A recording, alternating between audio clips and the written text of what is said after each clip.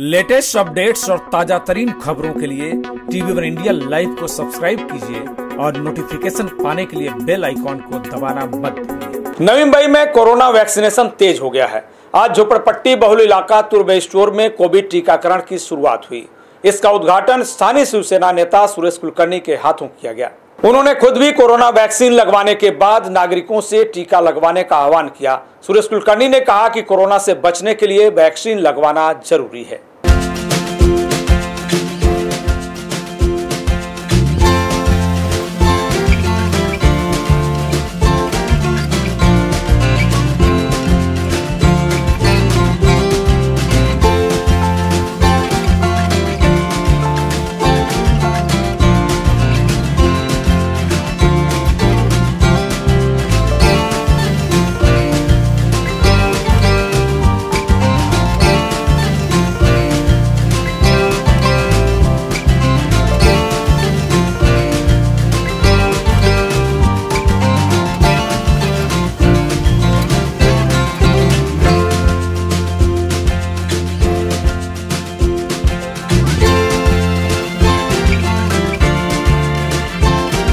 तस्वीर में दिख रहा है, यह तुर्वे स्टोर का कोरोना वैक्सीनेशन सेंटर है, जहाँ आज से टीकाकरण की शुरुआत हुई है।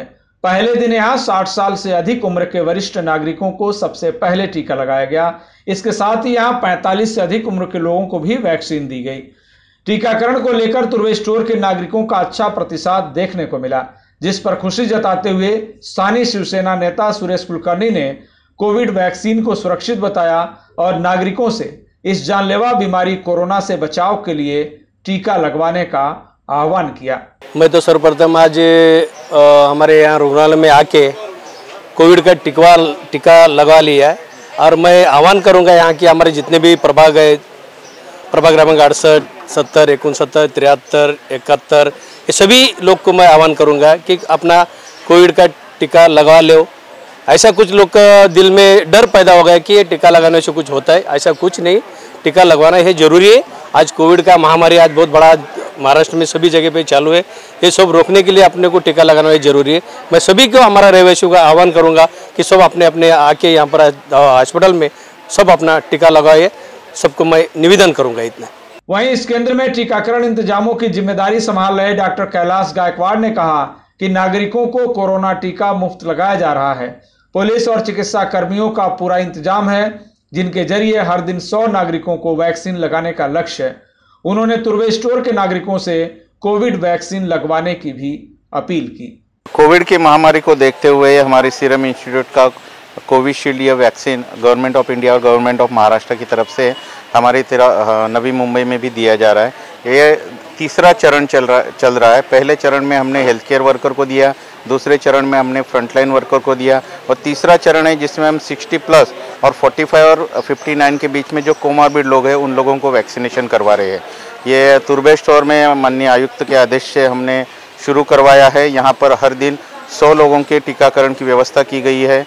नौ बजे से लेकर पाँच बजे तक हम ये टीकाकरण करते रहेंगे। आज के दिन उद्घाटन हुआ और हमारा सौभाग्य है कि यहाँ के लोक प्रतिनिधि जनप्रतिनिधि सम्मान्य सुरेश जी कुलकर्णी साहब आए।